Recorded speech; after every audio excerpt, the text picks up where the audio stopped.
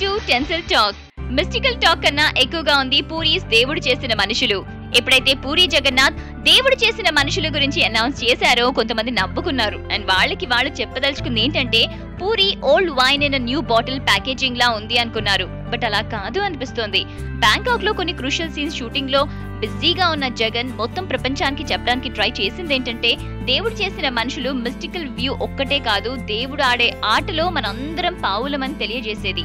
రవితేజ ఇలియానా నటించే దేవుడు చేసిన మనుషులలో కొంచెం ఇంట్రెస్టింగ్గా ఉండబోతోంది దేవుడికి అలాగే ఫిల్మ్స్ క్యారెక్టర్స్కి మధ్య ఒక రిలేషన్షిప్ ఉంది అని పూరి అన్నారు. దేవుడి రిప్రజెంటేటివ్గా అసలు ఎవరు చేస్తున్నారనేది ప్రతి ఒక్కరూ ఆశ్చర్యపోతారు.